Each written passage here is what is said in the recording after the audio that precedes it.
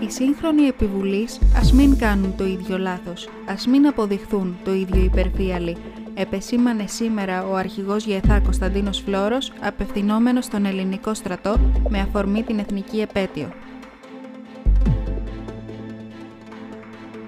Ο αρχηγός ΓΕΘΑ σε πολλά σημεία της ομιλίας του έκανε υπενιγμούς για την Τουρκία και την εμφανώς επιθετική στάση της απέναντι στη χώρα μας. Φύλακες της ξηράς, της θάλασσας, του αέρα, όποιος σας υποτιμήσει θα κάνει λάθος μεγάλο, το έχετε αποδείξει, είπε μεταξύ άλλων.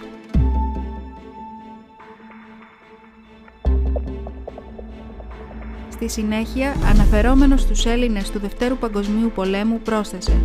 «Μας έδειξαν πώς ξεπληρώνεται το χρέος προς την πατρίδα και μας υπέδειξαν πώς κερδίζεται η ελευθερία και η εθνική αξιοπρέπεια απέναντι σε εκείνους που επιβουλεύονται τα εθνικά μας δίκαια αναζητώντας ζωτικό χώρο γιατί δήθεν δεν χωράνε πια στον δικό τους». Διαβάστε περισσότερα στο site μας nemesishd.gr